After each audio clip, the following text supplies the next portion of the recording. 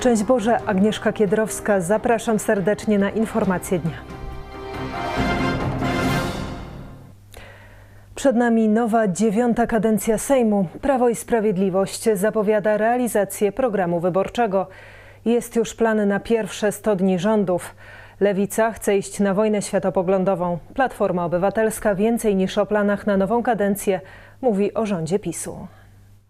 Po czteroletniej przerwie w ławach poselskich ponownie zasiądzie Lewica. Zaprezentujemy projekty ustaw, ale i plan na cały 2020 rok. Chcemy, żeby Sejm rozmawiał o projektach socjalnych i społecznych. Nie zabraknie tam też mowy o rozdziale państwa od kościoła czy takich światopoglądowych sprawach. Zapowiedział poseł elekt wiosny Krzysztof Gawkowski. Projekty ustaw przedstawi także partia rządząca. My się nie wycofaliśmy przez 4 lata ze swoich zobowiązań i nie, poc- nie wycofamy się teraz. Będziemy realizowali te, które są zapowiedziane na pierwsze 100 dni i te, które były zapowiedziane na całe 4 lata. Powiedział poseł Prawa i Sprawiedliwości Bartosz Kownacki. Jako pierwsze zostaną zrealizowane projekty z tzw. piątki PiS, zaznaczył premier Mateusz Morawiecki. To m.in. mały ZUS, 13 i 14 emerytura oraz pakiet badań profilaktycznych dla osób powyżej 40 roku życia. Chcemy, żeby po prostu Polakom żyło się w Polsce coraz lepiej, żeby byli coraz bardziej dumni ze swojego kraju, coraz bardziej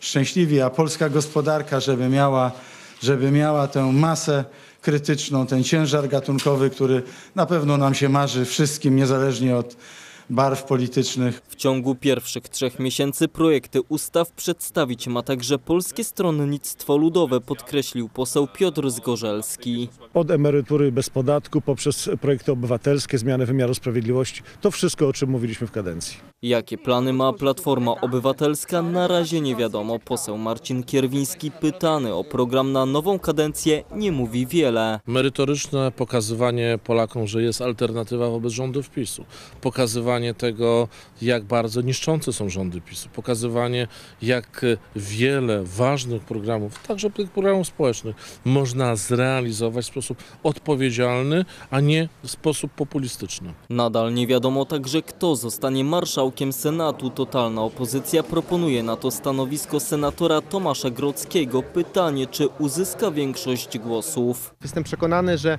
ludzie wybrani z list wspólnego paktu senackiego, bez względu czy to jest Lewica, czy PSL, czy Platforma, dotrzymają umowy, którą zawarli ze swoimi wyborcami. Pod znakiem zapytania stoi także podział funkcji wicemarszałków. Byłoby rzeczą zaskakującą, gdyby klub parla- parlamentarny czy klub senacki, który ma 48 senatorów, miał tylko jednego wicemarszałka Senatu i na przykład przedstawiciel, e, przedstawiciele e, ugrupowania, które ma dwóch czy trzech senatorów, też miał jednego e, wicemarszałka. Przyzna pan, że byłoby to zachwianie proporcji, które w demokracji mają znaczenie. To będzie już dziewiąta kadencja Sejmu i dziesiąta kadencja Senatu. W nowym Sejmie Prawo i Sprawiedliwość będzie miało konkurencję na prawicy. Po drugiej stronie sceny politycznej realnym zagrożeniem dla Platformy może okazać się Lewica. To będzie Sejm ostrej debaty. Ścierać będą się poglądy Konfederacji, która będzie naciskać na PiS w sprawie aborcji, z poglądami Lewicy, która może podjąć walkę o związki osób tej samej płci. W nowym Sejmie znalazło się pięciu ugrupowań. Prawo i Sprawiedliwość, Koalicja Obywatelska, Lewica, PSL i Konfederacja. Bardzo duża, praktycznie całość społeczeństwa e, ma swoją reprezentację w tym parlamencie. Mówi politolog dr Tomasz Madras. Nowy Sejm pracę rozpocznie 12 listopada. O kształcie Izby ponownie decydować będzie PiS. Obecnie Prawo i Sprawiedliwość dysponuje większością, natomiast musi bardziej liczyć się ze swoją, z opinią swoich koalicjantów z Zjednoczonej, Zjednoczonej Prawicy. Tłumaczy dr Łukasz Stach. Jarosław Gowin i Zbigniew Ziobro mają wystarczającą liczbę posłów, by zablokować projekty ustaw. Zresztą widać to już teraz, bo porozumienie sprzeciwiło się likwidacji 30-krotności składek na ZUS. Zarówno PiS, jak i PO mają konkurencję po swojej prawej i lewej stronie. Lewica wnosi e, takie sprawdzam dla Platformy. A Konfederacja może naciskać na PiS w polityce międzynarodowej, zwłaszcza w relacjach z Unią Europejską i Izraelem oraz weryfikować przywiązanie partii Jarosława Kaczyńskiego do wartości chrześcijańskich. Polemiki sejmowe będą się odbywać w bardzo gorącej atmosferze, ponieważ e, siły z prawa i lewa będą się się ścierały. Taki scenariusz kreśli dr Aleksander Kozicki. Dr Łukasz Stach przekonuje, że właśnie dyskusja światopoglądowa może być sposobem na zaistnienie lewicy w Sejmie.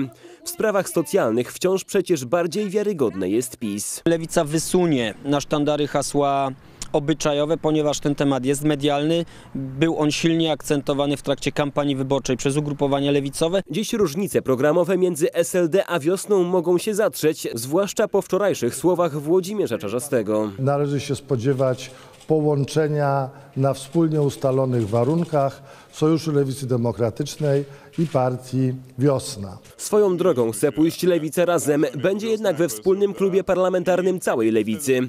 Zjednoczona pozostanie też Konfederacja. Zmiana pokoleniowa czeka Prawo i Sprawiedliwość, mówi dr Krzysztof Mazur i przekonuje, że podział PiS-PO może stać się już tylko historią. Platforma będzie słabła. Wydaje mi się, że jest to prawdopodobne, żeby za 4 lata jej miejsce w dużo większym stopniu zajęła Lewica. E, I także może jakiś projekt chadecki Kosiniaka-Kamysza. 12 listopada posłowie dziewiątej kadencji po raz pierwszy zasiądą w sejmowych ławach. Obrady otworzy marszałek senior Antoni Macierewicz i jak sam mówi, odwoła się na pewno do tych wartości, które dziś są najbliższe większości Polaków. Były to wartości chrześcijańskie, narodowe, niepodległościowe i ich utrwalenie jest obowiązkiem e, tego Sejmu, bo tak życzą sobie Polacy. W planach na pierwsze posiedzenie jest też wystąpienie prezydenta Andrzeja Dudy.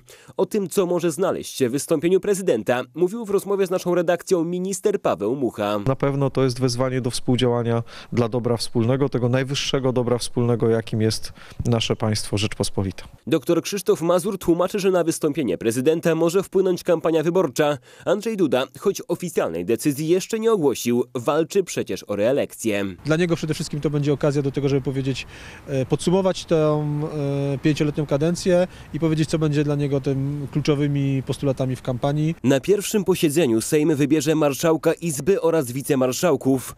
PiS chce, by obradami dalej kierowała Elżbieta Witek. Już wcześniej został ogłoszony skład nowego rządu. Już dziś w całym kraju odbywały się pierwsze uroczystości związane ze Świętem Niepodległości. W 34 miastach miały miejsce pikniki wojskowe pod hasłem Służymy niepodległej. Hołd poległym oddano przy grobie nieznanego żołnierza. W Warszawie uczestnicy pikniku wojskowego Służymy Niepodległej razem z ministrem obrony narodowej Mariuszem Błaszczakiem odśpiewali pieśń reprezentacyjną Wojska Polskiego.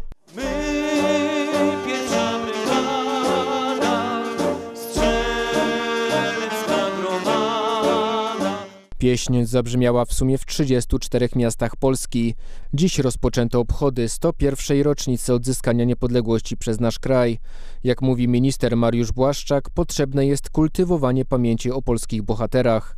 Którzy byli gotowi poświęcić życie, swoje życie, żeby Polska była niepodległa, żeby Polska była suwerenna. Pamiętajmy też o tym, że ta niepodległość nie jest dana raz na zawsze, że musimy o nią dbać. Na uczestników pikników niepodległościowych czekały liczne atrakcje. To m.in. sprzęt wojskowy, podkreśla podpułkownik Dominik Chorała z Departamentu Edukacji, Kultury i Dziedzictwa Ministerstwa Obrony Narodowej. Mamy ro rosomaki, kraby, emrapy, e, hamwi. E, dodatkowo na pikniku e, swoje, swój kunszt pokazują orkiestry, artyści, amatorzy z klubów wojskowych. Każdy mógł wsiąść do pojazdu pancernego, wziąć do ręki broń. Piknik to część kampanii Zostań żołnierzem Rzeczypospolitej, zachęcającej do służby w polskiej armii.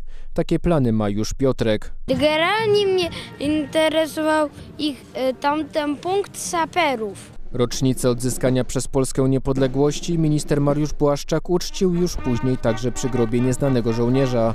Szef resortu obrony wziął udział w capsztyku niepodległości oraz apelu pamięci. Stańcie do apelu! Dla nas, Polaków, niepodległość jest czymś wyjątkowym. Nie szczędzimy krwi, ofiar do tego, żeby niepodległość utrzymać. Jutro oficjalne uroczystości państwowe z udziałem prezydenta Andrzeja Dudy. W Świątyni Opatrzności Bożej w Warszawie odprawiona zostanie msza święta za ojczyznę. Prezydent wręczy odznaczenia państwowe. Wieczorem weźmie udział w koncercie Gramy dla Niepodległej przed Pałacem Prezydenckim. Obchody Święta Niepodległości zakończy wraz z mieszkańcami Rypina w województwie kujawsko-pomorskim. Już jutro ulicami Warszawy przejdzie Marsz Niepodległości. Tym razem pod hasłem Miej w opiece naród cały, a transmisja z wydarzenia na naszej antenie. Trwają ostatnie przygotowania do jutrzejszego Marszu Niepodległości. Wydarzenie rozpocznie się o godzinie 13 modlitwą różańcową na rondzie Romana Dmowskiego. Od godziny, o godzinie 14 jest oficjalne otwarcie. Około godziny będziemy tam przemawiać, będą występy artystów. Potem przejdziemy ulicą e, Alejami Jerozolimskimi w stronę Mostu Poniatowskiego. Z Mostu Poniatowskiego zejdziemy serpentynami, tutaj niedaleko. Będziemy szli ulicą e, Wybrzeżem Szczecińskim, wejdziemy w ulicę Siwca na błonia Stadionu Narodowego. I to tam zakończy się przemarsz, powiedział prezes Stowarzyszenia Marsz Niepodległości Robert Bąkiewicz. O bezpieczeństwo będzie dbała policja oraz Straż Marszu Niepodległości. Strażników jest e, ponad 400 w tym momencie. Grupy, które zabezpieczają stałe punkty, grupy, które zabezpieczają czoło e, przemarszu, e, grupy, które są odpowiedzialne za, za wszystkie newralgiczne punkty. Zaznaczył wiceprezes stowarzyszenia oraz szef Straży Marszu Mateusz Marzoch. Tegoroczny już dziesiąty Marsz Niepodległości odbędzie się pod hasłem Miej w opiece naród cały. Transmisja z wydarzenia na antenie telewizji Trwam. Niegdyś w polskiej kulturze na Dzień Świętego Marcina organizowano uczty połączone z obrządkiem zabijania i pieczenia gęsi. Także obecnie w wielu polskich miastach odbywają się festiwale gęsiny. I choć Dzień Świętego Marcina przypada jutro, to już dziś na niektórych polskich stołach zagościła gęsina. W Polsce z roku na rok rośnie spożycie mięsa gęsiego. W ciągu roku zjadamy pół kilograma gęsiny. Dla porównania jeden Polak zjada 30 kg kurczaka. W dalszym ciągu 90% mięsa z gęsi trafia na eksport. 20 tysięcy ton wywożone jest głównie do Niemiec. Prezes Fundacji Hodowców Polskiej Białej Gęsi Andrzej Klonecki zwraca uwagę na walory mięsa gęsiego. Spożywanie mięsa gęsiego to jest takie antydotum na zmęczenia i choroby cywilizacyjne XXI wieku. Dlatego nie dziwmy się, że tak jest ogromne zapotrzebowanie właśnie na to mięso funkcjonalne. Hodowcy zachęcają małych gospodarzy do chowu gęsi. Gęsina, która jest, ma zapewniony ten fantastyczny dobrostan. On jest właściwy w tych małych gospodarstwach. Ta gęś sobie chodzi, gdzie ona chce. Ona przez to nie ma tak zwanego stresu genowego, co się przekłada na lepsze właściwości smakowe i zdrowotne. Hodowcy wskazują także na kwestie ekonomiczne. Pięć gęsi w chowie przyzagrodowym jest warte tyle, co jeden tucznik. Dodatkowo przerobione mięso może zwiększyć dochód hodowców. W Polsce obowiązuje ustawa, która umożliwia drobnym gospodarzom sprzedaż swoich produktów do 40 tysięcy bez płacenia podatków. Powyżej tej kwoty podatek wynosi 2%. Studenci i absolwenci Wyższej Szkoły Kultury Społecznej i Medialnej po raz kolejny otrzymali nagrody na festiwalu filmu niezależnego Okno. Festiwal Filmu Niezależnego Okno po raz kolejny zawitał do Warszawy. W kinie Wisła można było zobaczyć filmy spoza głównego nurtu życia kulturalnego i artystycznego. To rzadka okazja, bo dzieła te nigdy nie trafiły tak naprawdę do kin. Na festiwalu nagradzane były filmy, które ukazywały niezwykłe ludzkie historie. Tak było choćby w 2014 roku, w przypadku filmu pod tytułem Skrzyżowanie. Reżyser Tomasz Saj ukazał historię robotników z Kraśnika i ich rodzin, którzy przeszli brutalne represje po tym, jak stanęli w obronie miejscowego krzyża. Na festiwalu nagradzani byli też studenci i absolwenci Wyższej Szkoły Kultury Społecznej i Medialnej. Tym razem również nie zawiedli. Trzecią nagrodę w konkursie głównym wywalczyli Urszula i Mateusz Witek za film pod tytułem Od kornika do ideologii. Film podejmował temat walki o Puszczę Białowieską. Na festiwalu swoje etiudy mogli zaprezentować studenci WSKSIM. W tej kategorii wywalczyli drugą i trzecią nagrodę. Pierwszej nie przyznano.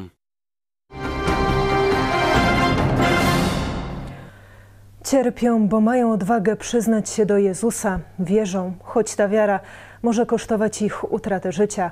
Dziś Dzień Solidarności z Kościołem prześladowanym. Tym razem szczególną modlitwą otaczamy Sudan Południowy. Kraj pogrążony jest w wojnie domowej. Chrześcijanie zmagają się też z głodem i brakiem dostępu do wody.